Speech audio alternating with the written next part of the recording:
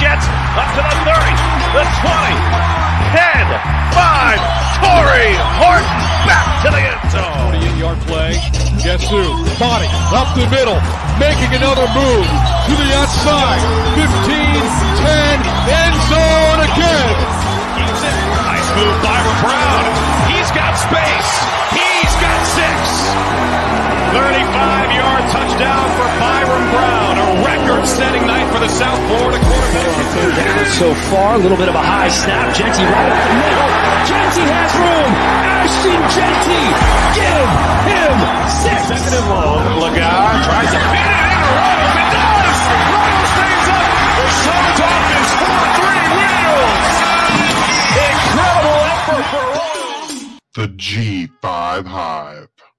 G5 all the time. Welcome to the G5 Hive Live, and we are excited to bring you another G5 college football coverage week that you love each and every week. I butchered that. It's been a long day. It has been a week for this Monday, but I am Luke. I am joined by my co host, Justice. Um, if you're watching us on YouTube, please hit that like and subscribe button. And if you're watching us on X, please give us a follow, a like, or retweet. And if you're listening to us in podcast form, please rate and review. Uh, moving on to our G5 Hive Week Three waiver wire honey, and we're going to get started with our quarterbacks. Uh, over to you, Luke. All right. So this week I've got quarterbacks. Uh, now, when I'm looking at them, and I'm looking at again, we're trying to look at guys who are 30% owned in leagues and in Fantrax or less. Obviously, these are not in any particular order, but you know, Caden Veltkamp is the the guy that we got to kind of be looking at right now. He's averaging 21 and a half points per game. He is 10% rostered. Just came off of his 27 for 30 performance for 398 yards and five touchdowns a lot of these, other than Veltkamp, a lot of these guys are going to be in that um, 20 points per game, with the exception of you know one guy that I'll, I'll mention a little bit later. But then we got Mikey Keene. He's 24% owned. He's averaging 17.3 points per game. The thing that I like about Fresno State is they have 13 touchdowns. Obviously, you score touchdowns, you score points, they score fantasy points. That is 39th in the nation. We've got Christian Veilleux. He's 1% owned. He's on a bye this week. Then they have a game and then another bye, but he's averaging 20 points per game. So maybe you want to wait a little bit. But that he's a guy that, you know, you should maybe watch out for. Like I mentioned, uh, then we've got uh, Brendan Lewis, 20% owned. He's scoring 18.4 points per game. They've had 12 red zone attempts so far this year. Um, four of them coming, um, four of their touchdowns have come from the rushing side. Five have come from the passing. Those 12 red zone attempts are 43rd in the nation, which I mean, not too, not too shabby there for Nevada. So you know, depending if they decide to go more pass happy, I mean, this is probably happy medium there. So that 18.4 probably a pretty good number there for Brendan Lewis. Um, and then uh, another guy um, let's see. I don't have written down here. Um, give me a second. We'll get back to we'll get back to to him. Um, can we go to the next slide?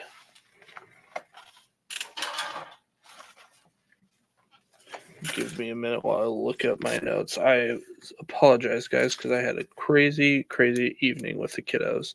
Um, then we've got um, Eth, um, right, Ethan Vasco there for Coastal Carolina. Um, 25% owned, 35th in red zone appearances. He's scoring 19.2. They're scoring 15 touchdowns with his 21st in the nation. Um, so that is uh, pretty good there. Tucker Gleason is a guy that I really want to make sure that we know about. 23.8 points per game. He's one of the few that are over that 20 points per game threshold. Um, 21% owned. Um, they are scoring um, in the uh, 17 touchdowns, 14th in the nation. So they're, you know, obviously, again, scoring touchdowns, getting you points.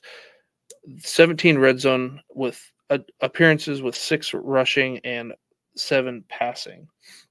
Um, and then you've got Skylar Locklear. He's 2% owned, scoring you about 20 points per game, getting you roughly two points every week just rushing. So that negates an interception or fumble, whatever. So he's giving you a little bit there with his legs, which is important because um, pretty much um, him and uh, Jackson there in the backfield. Then we've got Mensah, 10% owned, scoring you 16.1 points per game. Once a conference play comes in, um, I think Mensah will be a great player to add. And then Emmett Brown, 4% owned. Talked about him in the 2020 group, 23.1 points per game. They um, have nine red zone um, appearances, one rushing, five passing. Um, so you you like that. Red zone attempts again with looking at Locklear and uh, Veer, they are the lowest. Um, UTEP with eight red zone appearances and Georgia State with nine. So obviously those aren't great. So I'd have them at the lower level level of my you know add adding. But now if we go back to the previous slide and we have uh, Jacksonville State quarterback Tyler Huff comes in in week one against Coastal Carolina, and since taking over, he played at Louisville, scored you 26 and a half points, and then um, last week against Eastern Michigan scored 28.44 points.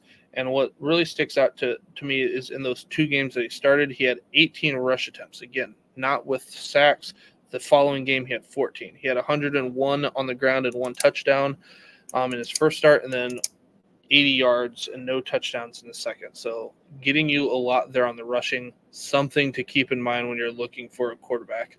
Like I said, a lot of these guys, not in any particular order, are scoring you right around that 20 points. Really want to look at um, Tyler Huff is a good option. Veltkamp, um, is is a potential guy. Tucker Gleason and then if you need somebody with some legs, um, Skylar Locklear, and then Emmett Brown. And honestly, if there's anybody in that 2020 slides and they're on your waivers, they're a good option too because they're getting you the opportunities and uh, the yardage. All right, uh, let's move over to the running backs. Um, so the first one I want to mention, you know, running backs are thin um, in, in, any kind of fantasy format, and and, in the G5 is no different. Uh, so we talked about Braedon Sloan in our 2020 guys. Like he should absolutely not be uh, be under 30% owned, and he's he's just under the threshold at uh, 29%. Um, he's heavily involved in this offense. As Luke mentioned in, in, the 2020 segment, um, he is leading uh, the G5 in terms of uh, receptions per game, um, and he's also the lead running back carrying the ball. So you know this he should be a priority ad. Um, you know, coming up, MAC MAC uh, MAC conference play coming up. Braedon Sloan uh, needs to be on your roster. He's someone that's gonna that's gonna win you some games um, here in the coming weeks. So hopefully, we're not talking about Braedon Sloan um, next week. Um, another, I think, guys, a priority ad um, is Billy Lucas at Liberty. Um, as we mentioned, uh, uh, currently, Billy Lucas is only 6% owned. Quinton Cooley had that injury. It, it does not look good, um, according to, to Jamey Chadwell there. And if, um, you know, Quinton Cooley goes down, Billy Lucas is the man. And, and he's going to kind of see that workload that Quinton Cooley saw last season when Quinton Cooley was the only guy that was uh, was healthy for Liberty. Um, and so, you know, it, it, it, you need to hedge those bets and – if you're not doing it, one of your co-owners is. They're going to be adding. They're going to be pretty high on Billy Lucas just because he has potential workhorse uh, written all over him if Quinton Cooley is out for the season or an extended period of time. Um, next up, running back Jevon Jackson, UTEP. We've talked about him. I feel like every week on this show. Um, he's only 24% owned. Um, he's not necessarily like you know he's not the, the, the sexy ad that Braedon Sloan or Billy Lucas is, but he, he is a workhorse back um, for UTEP there. UTEP's not very good, but but uh, Jevon Jackson is the one um, kind of carrying the load in terms of running backs for UTEP. Um, this next guy uh, we talked about earlier uh, when we did our news and notes and the injuries. That's Christian Washington. It's probably just a short term play, right? Um, Coastal Carolina uh, rotates their backs. Christian Washington is six percent owned, um, but it's a good play right now. And until they get Braydon Bennett and Javon Simpkins back from injury, uh, Christian Watson is the one um, carrying that workload for the Chanticleers. So again, not a probably not a great long term ad, uh, but if you need somebody this week, um, he, he could uh, he could do well for you, assuming both Bennett and Simpkins are still out. And uh, rounding out this group is uh, Raj Rahjai Harris uh, from East Carolina, 13% owned, and this has been back to back weeks where he's kind of been a workhorse back for East Carolina. Um, we'll see if that continues against um, uh, App State this week, but uh, Rajah, Rahjai Harris, uh, East Carolina, um, two weeks in a row with workhorse uh, type numbers. All right, uh, moving on to the second group. Uh, first up is uh, is a bit of a cheat code, if you will. It's running back slash wide receiver Cam Thomas. Um, he's listed on the UTEP roster as a minor back, whatever that means. Um, but he is he's used in the passing game. He eats in the passing game. Um, he's averaging, he's getting you five to eight receptions a week, 70 to 90 yards through the air. So if you are in a PPR format, um, Cam Thomas is absolutely someone uh, that you need, on your roster. He's only 9% owned. Uh, next is kind of a, I don't know, like crystal balling a little bit maybe, but um, Fluff Bothwell, who was our offensive uh, freshman of the week, South Alabama. He's only 8% owned. He's currently, you know, in a com- committee there at South uh, Alabama with Kentrell Bullock and Braylon McReynolds. He has not started a game yet, as we mentioned earlier, but he has led South Alabama in rushing every single week uh, for the running backs. And he's frankly looks like the best running back on the team. So, you know, we'll, we'll see if uh, he can kind of take it, take, take that over, if they, or if they continue uh, to rotate. But uh, Fluff Bothwell is someone that I added in a league uh, just this week, just because you know lots of potential um, and has looked really good in the snaps that he has gotten. Uh, running back Seth McGowan, New Mexico State, only 18% owned. Uh, he's getting you roughly 15 carries a week, 50 to, to 90 yards. Definitely looks like the best and most productive uh, running back for New Mexico State. And uh, next up, Cam Edwards, UConn, only 10% owned. Um, UConn was a, you know a, a, very heavy rotation with Cam Edwards, Victor Rosa, and Darrell Robinson. Uh, Victor Rosa hurt, got to have finger surgery, going to be out for a while.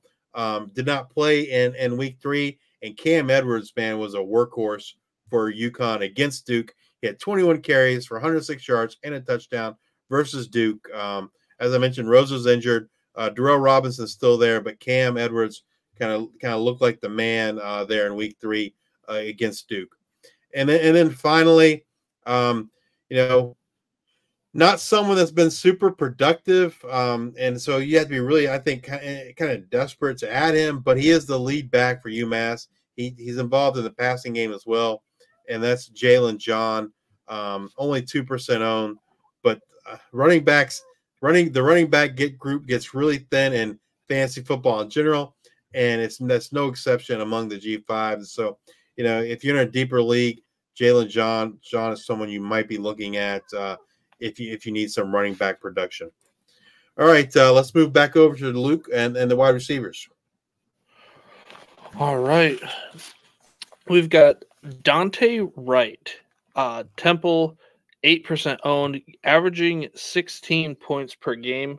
Uh, he is fourth in the G5 in targets, 25th in yards. Um, he's getting you 10 targets and seven receptions for 78 yards. Uh, I'm pretty excited about a lot of these wide receivers here that I'm going to talk about. Um, we've got, let's see here, I've got no particular order on here. Got Cam Thomas, 9% owned, 15.1 points per game. He's 11th in the G5 in targets, 23rd in yards. He's getting you nine targets a game. Six of those are receptions for 73 yards. Um, we've got Ted Hurst, my offensive player of the week. He is 1% owned, on a bye this week. Then you have a game, then another bye, but he's getting you 16.4 points per game, seven targets, five receptions, 79 yards. He's got three touchdowns, which is second there in the G5. Um, let's see here. We've got looking through my notes. We've got Skylar Bell there at UConn. Uh, make that change there at quarterback. Well, you know, um, Nick Evers dealing with a head injury, so that is why he has been missing games. But Skylar Bell, seven targets. He's getting four receptions per game, but he's making those four count. He's averaging 101 yards. He's got 10.1 YAC per reception, which would be the highest of the 2020 guys if he were there.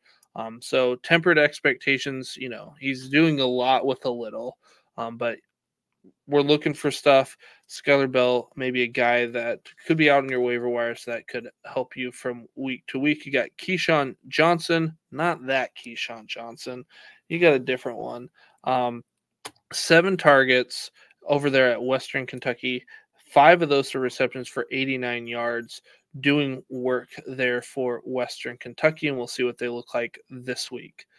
Um, got some more guys here. Um, next, we've got hey Brett, what's going on? So then we've got wide receiver Dallin Cobb, 23% owned, looking good there for Georgia Southern. Not expecting a lot this week here against Ole Miss, but he's getting six targets. Five of those are receptions for 58 yards, and he's got two touchdowns. So if you're getting 10.8 from the receiver, not too bad. I expect big things going forward there for Georgia Southern, and Cobb is looking pretty good as of late a guy that I'm really excited about. I'm kind of curious if he's able to pull out a couple long catches here against Ohio State. Christian Fitzpatrick, he's 4% owned. He's averaging 16.5 points per game. He's fifth in the nation, or not fifth in the nation, fifth in the G5 in targets.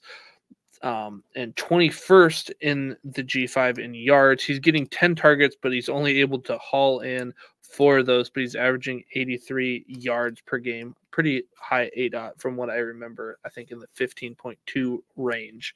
So if he's able to catch a couple more of those, that could be um, a guy to pick up. Um, then we've got Junior Vandeross, 3% owned, 15.8 points per game. He is uh, getting you seven targets a game corralling four of those for 75 yards. Again, he's got three touchdowns. So he's, again, second that G5 in touchdowns. So good for him. And again, Toledo, we have Tucker Gleason on there. He's got to throw the ball. Uh, he's been a a, uh, a target of his, and again, scoring a lot. I think what I said earlier, like 17th in the nation in touchdowns scored. You've got Luke Floria there for Kent State. Not a lot to hang their hat on, but Luke Floria is one of those. He is getting seven targets. He's getting five receptions a game for 69 yards. And the last one, Anthony Smith. Guy, I mean, I thought it was going to be a different transfer the that ECU would be counting on, but Anthony Smith, he's got a 16.1 average depth of target. He's only got 4.1 yards after catch per reception. So he's kind of catching it, going down. He's a little, I mean, it's not great, but he's getting five receptions on seven targets, 93 yards, and uh, two touchdowns. So again, if ECU is putting up some points, um, again, they've got a Jake Garcia who's throwing the ball, a lot of danger throws, but uh, going some of those going there to Anthony Smith, a guy to keep your eyes on. And that is my wide receivers that I wanted to highlight this week. All 10 of them. We're digging in deep, and there was a lot. I mean, other like Cobb was probably the fantasy point wise one of the the lower number totals, but we had a lot of 16 point guys just sitting out there on waivers, available in 30% or more in leagues. Justice, what do we got for tight ends? All right, so uh, kind of rounding us out for the waiver wire this week, tight ends. Um, before I talk about these guys, I want to I just want to mention there, there's there's three guys on um, our that we talked about in 2020. Did not repeat those guys here in terms of the graphics, but you know Tanner Koziol, 29% owned, seven and a half targets, 50 yards a game. Like hopefully next week he, he's above that 30% uh, threshold. Dorian Fleming, only 11% owned, six targets, 48 yards a game. And then Colin Weber, 3% owned, uh, 4.7 targets, 48 um, yards per game. And, and like Luke mentioned, um, even with that quarterback change, he was still targeted in week three. He was tied for the, the team lead in receptions with five uh, in week three for Charlotte. So, you know, Koziol, Dorian Fleming, Colin Weber, all those guys will take priority over over these next five guys I'm going to mention here. Uh, but first up, Boden Groen, uh, Rice, 13% owned, averaging 4.7 targets per game, but only 21 yards. Unfortunately, that Rice offense is just not looking like we expected. Um, but maybe that maybe they'll turn things around here soon. Uh, next up, Anthony Landphere, uh, Memphis um, hadn't really done much at all um, the previous two weeks, but had a huge game for Memphis in Week Three against Florida State. He is only uh, seven percent owned, um, and maybe that's a sign of things to come. Maybe he'll be more involved in the offense. Uh, I don't know, but you know, tight ends uh, a virtual wasteland, and so something to kind of monitor. He had that big game uh, week three against Florida State. Um, kind of been a staple on this segment. Uh, Eli Wilson, Appalachian State, only nine percent owned, and he's just kind of steady performer, right? He's going to get you five targets, three or four catches, and forty yards a game. Nothing too flashy, um, but he's going to do it each and every week. Um, someone new to the list this week, uh, Anthony Torres from Toledo, only 5% owned. Um, the, the big thing to note here with Torres is he scored a touchdown in two of three weeks. And that, you know, that that's that's huge for tight end production. That's the difference from you know six points to 12 points a week. Um, and, and so when a when you when you see a double digit score for a tight end that's not named Harold Fannin Jr. or Rondé Gadsden or or some of the, the, the top guys, um, it's usually because they scored a touchdown that week. And, and Tanner Coz, uh, sorry, Anthony Torres has done that in two of three weeks. And then uh, rounding us out here is Jacob Newell from Akron. Um, he's zero percent owned, um, but he's averaging you know kind of, kind of the same as as Boden Groen, uh, 4.7 targets and 33 yards per game. Um, his targets have, have, have, kind of jumped up the last couple weeks uh, with six and seven targets. Uh, so maybe he, he's someone to monitor as we move into MAC play. And, and that's going to do it for our tight ends here for our week three waiver wire honey. The mute button, undefeated. Um, come back and join us next week as we discuss what happened in week four, as well as look forward to week five of the 2024 season. And as always, we bring you up to date on all the latest news and happenings in the world of the G5 college football. If you're watching us on YouTube, please hit that like, subscribe button. If you're watching us on X, please give us a retweet, a like, and a follow. And if you're listening to us on Apple Podcasts or Spotify, please subscribe and leave those five star ratings and review. Thank you all for your support. Until the next time, we are the G55.